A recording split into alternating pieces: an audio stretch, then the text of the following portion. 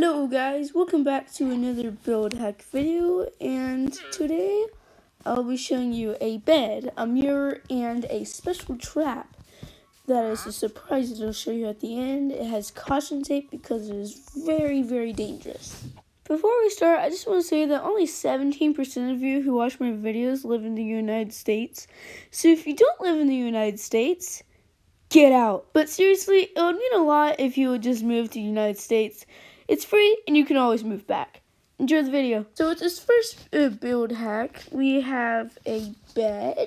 It's actually a grand um, master bedroom bed. And all you need is to do this simple design. So just do this. Cover it with the bed. Do like so. Sorry, my touchscreen is messed up today. So then you want to do this and this. Close those up. And you got yourself a nice looking bed. This next one is a mirror. So pretty much, as you can see, just examine this, all this here, and then look in the mirror, and you got all the same items just mirrored. I'll show you exactly how I had this thing where you can look at your reflection.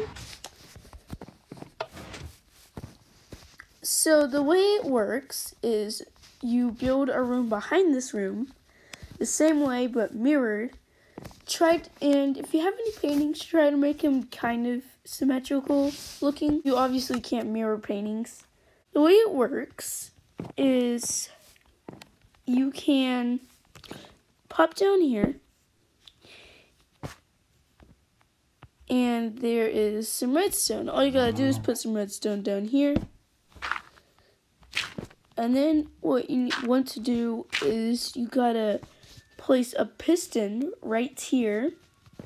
And then on top of the piston, you want to place an armor stand. You want your armor stand to face this way because for some reason when you activate the redstone, it goes in this position. Now, obviously, in Bedrock Edition, you can't get a custom head, but in Java Edition, if you have a custom head, you might as well plop that onto the armor stand.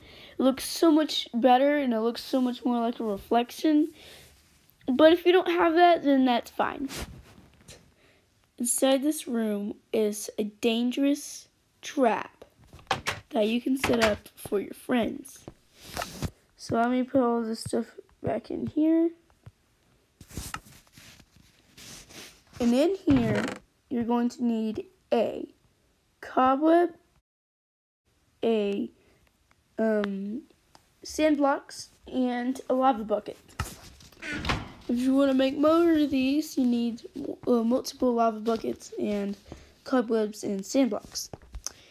So what you want to do is you want to go down like this.